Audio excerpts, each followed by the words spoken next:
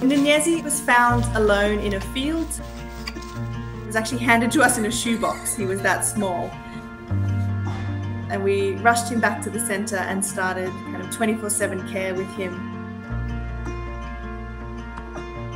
At that age, he would still be in the den with his family members. So for him to be completely alone was really scary for him. We started thinking, you know, what can we do for this, this cub? We started looking into kind of what sort of species is a bit similar to hyenas, and that's when we settled on a puppy. Wesley was executed about the same time.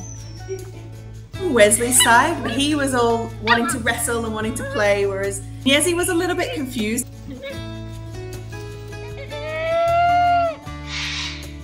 In the beginning, we just did little sessions of kind of an hour just because Wesley, being a puppy, was a little bit full on. Sometimes the hyena needed a little bit of a rest.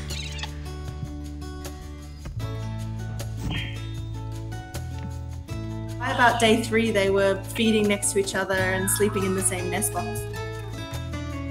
As soon as the puppy got there, he got a lot more confident with change in his environment. And Ninyezi could look at him and go, okay, well, Wesley's not scared, so I don't need to be scared either.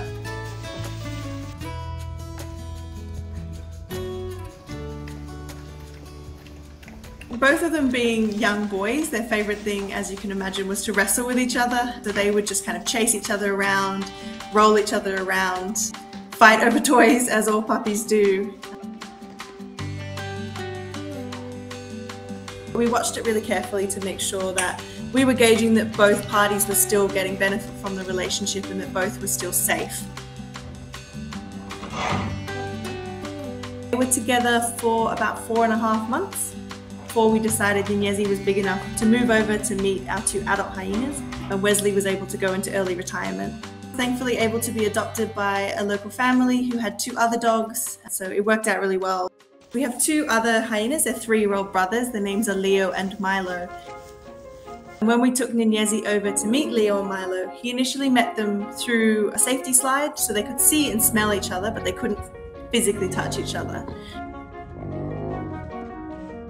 If they fight, I'm going home and you won't see me again for the rest of the week.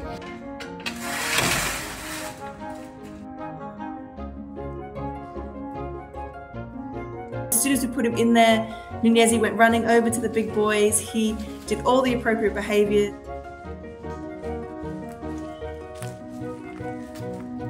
It actually went much better than we could ever have hoped. So we were really grateful that Leo and Milo accepted him gets his own little second chance at life. Unfortunately for them, they can't be released at this stage um, just because they all have grown up in such close proximity to humans. So Leo, Milo, and Ninyezi will stay here at the Wildlife Centre as a little clan. We have a huge forest enclosure for them. They've got swimming pools, they've got everything a hyena could possibly need.